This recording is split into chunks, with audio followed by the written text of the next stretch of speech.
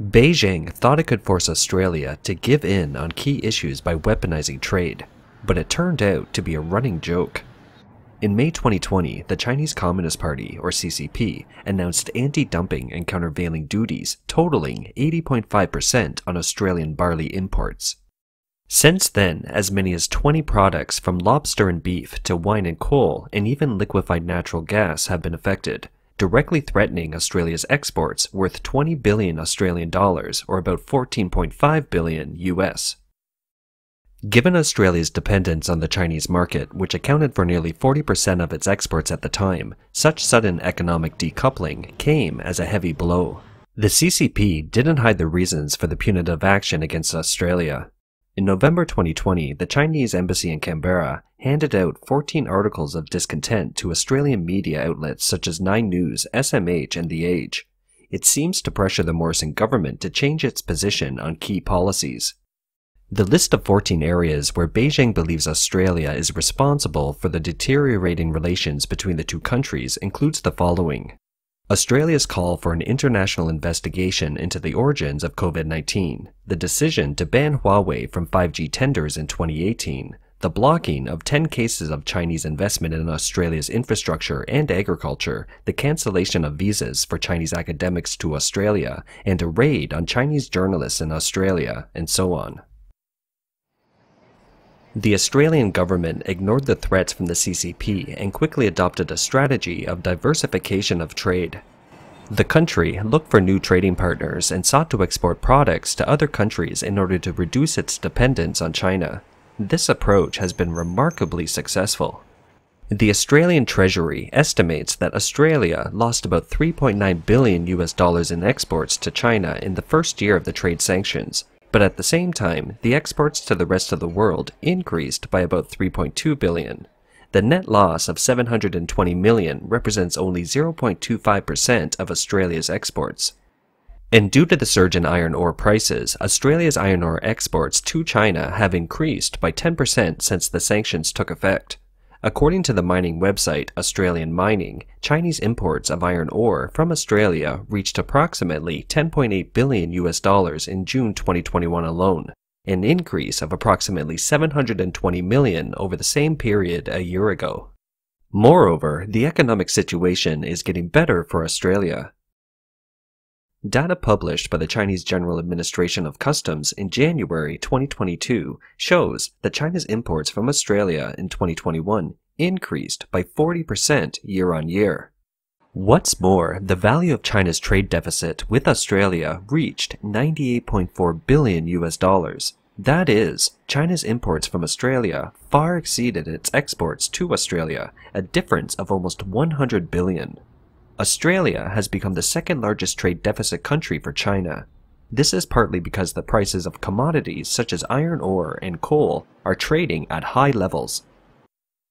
The trade figures show that China is having trouble getting rid of its dependence on Australia for its mineral resources.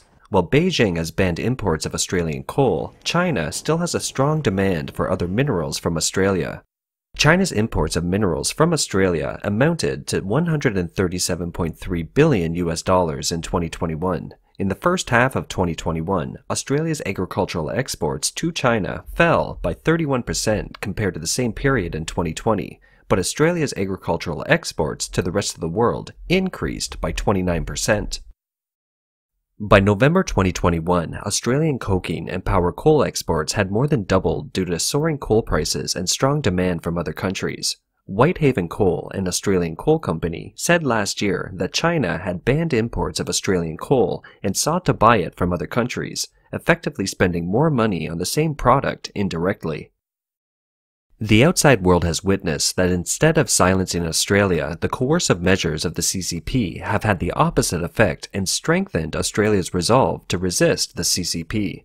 At the G7 summit in the UK in June 2021, the Australian delegation distributed copies of the 14 point list of grievances from China to the heads of state, which may well have helped Western countries see Beijing's intimidation of Australia.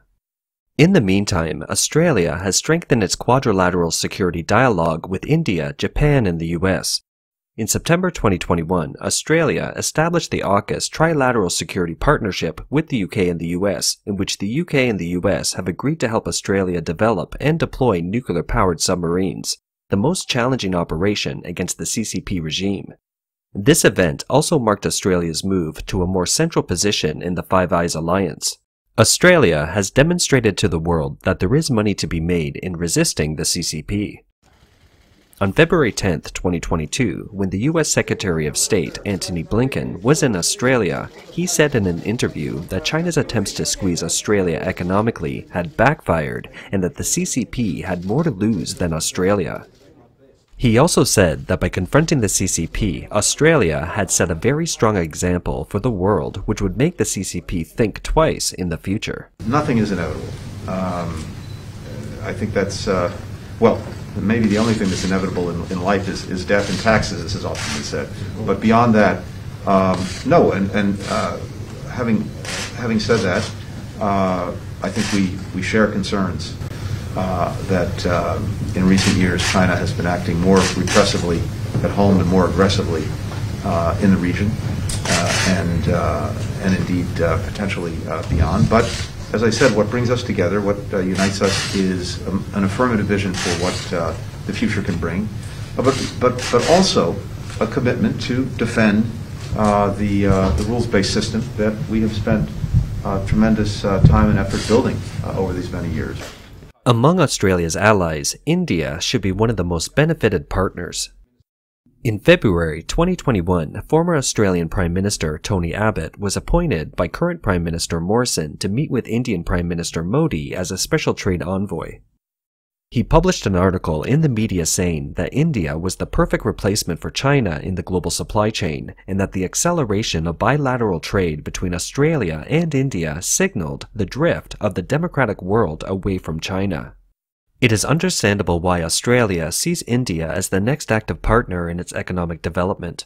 Australia needs to find a new economic engine as its economic relationship with China is not likely to return to the past. While Australia's primary industries are agriculture, forestry, and mining, they are complemented by India's manufacturing sector. India is a democratic country with a population of about 1.36 billion. As of February 11, 2022, Indian and Australian negotiators are close to clinching a limited trade pact or so-called early harvest agreement. Trade negotiations received a push after the US, Australia, Japan, and India pledged to set up a so-called Quad Group in response to China's economic and military expansion. Australia and India launched negotiations for a comprehensive economic cooperation agreement back in 2011, and in 2020, Indian Prime Minister Modi and his Australian counterpart decided to speed up the negotiations for a trade deal while agreeing to resolve some bilateral issues. Two-way trade in goods and services has grown in value from 13.6 billion US dollars in 2007 to 24.3 billion in 2020, according to government estimates. Addressing fears among India's domestic industry and farmers about a bilateral trade pact with Australia, the Indian Trade Minister said, I feel empowered to be able to share with you that our teams should be in a position to come up with the interim agreement, the early harvest part of the final comprehensive economic partnership in the next 30 days. Both sides have been very, very fair and understanding about the sensitivities that each side has about certain issues Australia has certain sensitivities, India has certain sensitivities, and the good part of this friendship is that we have respected each other's sensitivities, and the agreement is uh, an agreement which is only a win-win.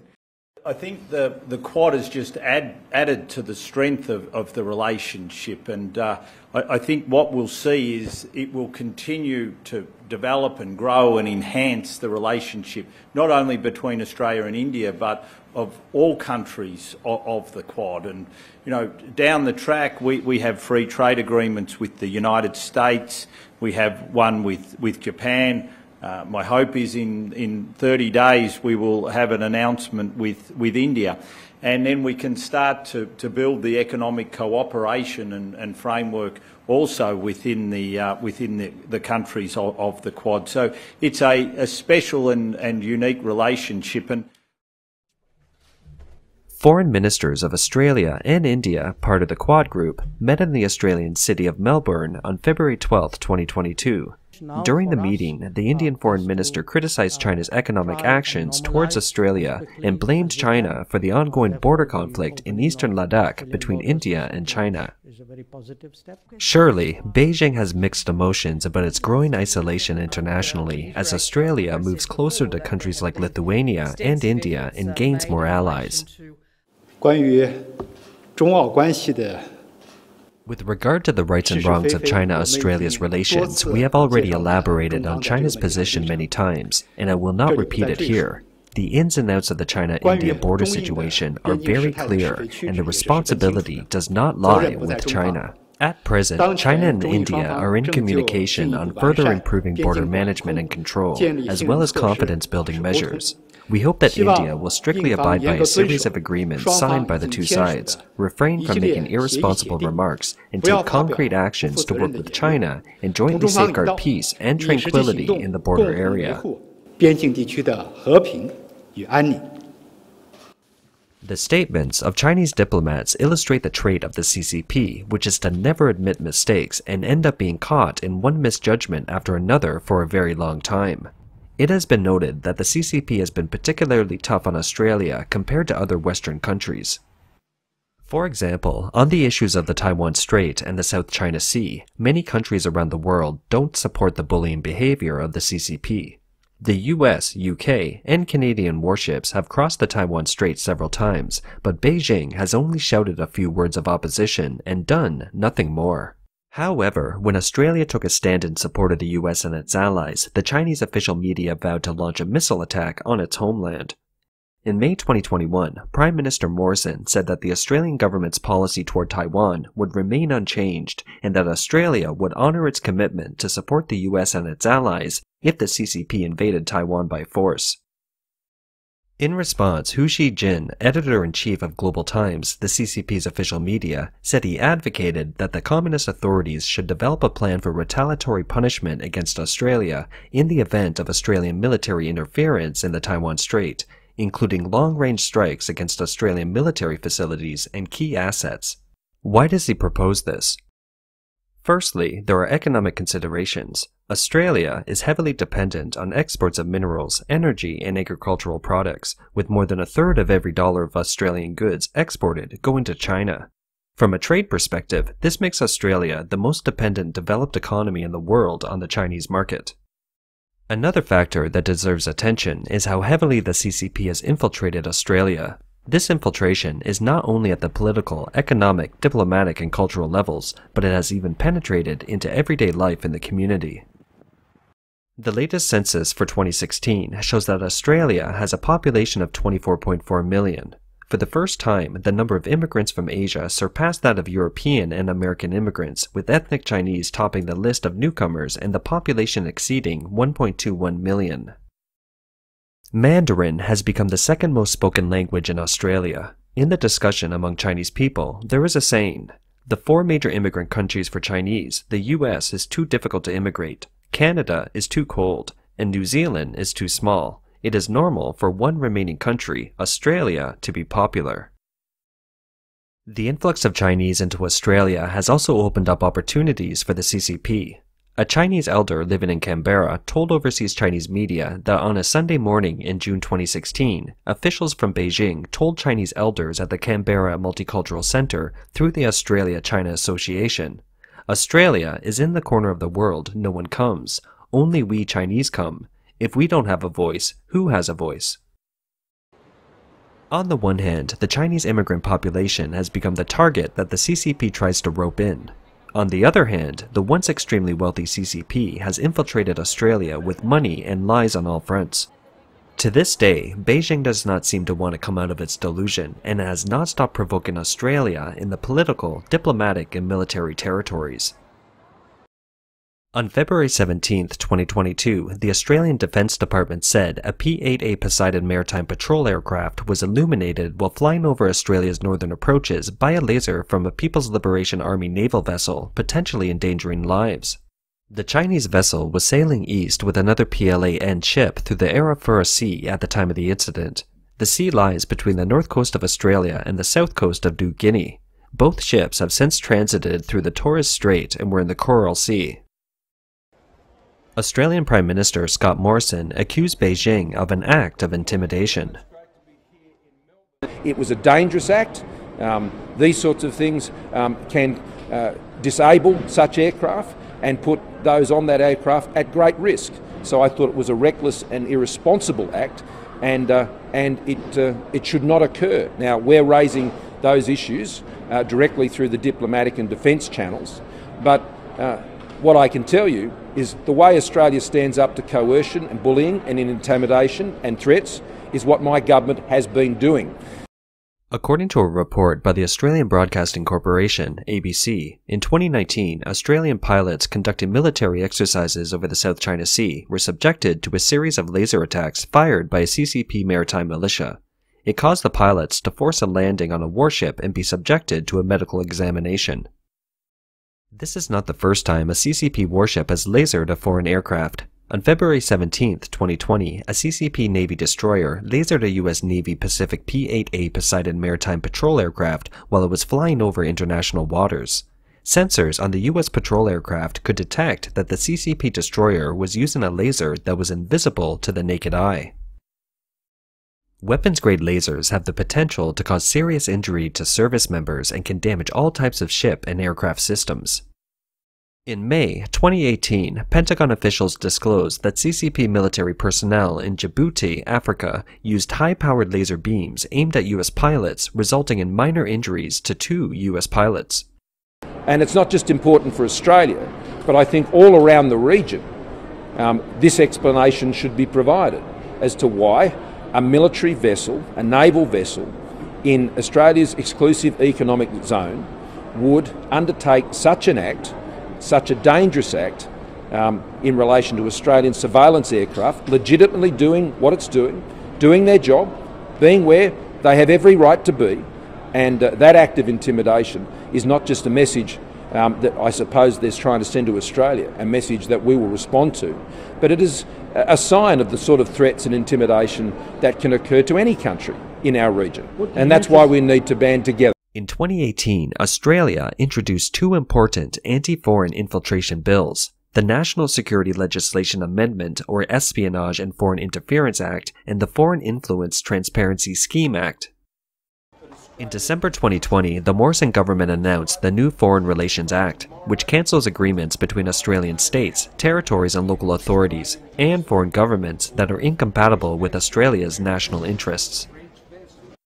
On November 17, 2021, the Australian government announced the guidelines to counter foreign interference in the Australian university sector.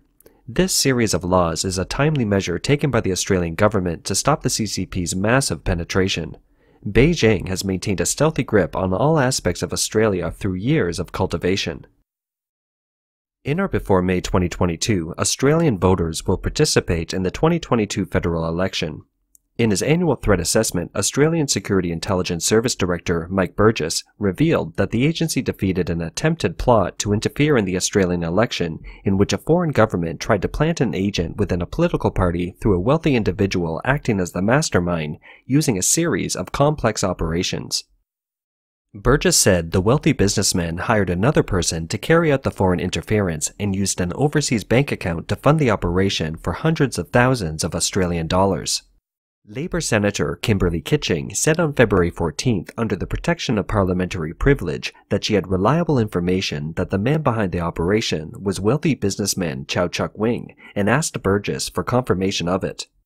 Chau Chak Wing later issued a statement saying that Kitching's allegations were baseless. Originally from mainland China, Chau Chak Wing has become an Australian citizen and is involved in real estate development. He has donated more than 4 million Australian dollars to major political parties since 2004. He has also donated more than 45 million Australian dollars to Australian universities.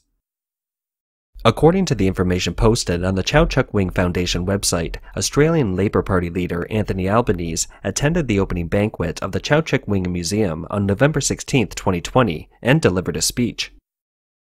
Australian media news.com.au revealed that according to information provided by sources within the government, Prime Minister Morrison declined to attend the party for national security reasons, and that former Liberal Party leader Brendan Nelson and former New South Wales Premier Bob Carr also attended the party at the time. The Global Times, the CCP's official media, published an article on February 14, 2022, with the headline Weak Australian leadership inhibits potential relationship reset with China. It also tweeted on the same day Albanese will not be a charismatic leader, but he positively shines compared to Morrison. Such is the abysmal state of Oz politics. One would like to see a reset in ties with China, but Oz leadership is weak and US pressure is sustained. To this day, there are still panda huggers in the Australian political arena. In a speech at the National Press Club in Canberra on November 10, 2021, former Australian Prime Minister Paul Keating repeated twice that Taiwan is not an important interest for Australia. He said, We have no alliance with Taipei, no. There is not a single document of alliance with Taipei in Canberra. We don't recognize it as a sovereign state. The Taiwan issue is fundamentally a civil issue for China. On the Chinese Communist Party, Keating said, we have to deal with them because they are going to be very powerful in this part of the world. But it's clear that such a political view is no longer the mainstream in Australia. The Chinese Communist Party is still trying, but times have changed dramatically. While some Australian officials and business people will still dream of expanding the Chinese market, there is clearly not a reset moment ahead as Beijing expects.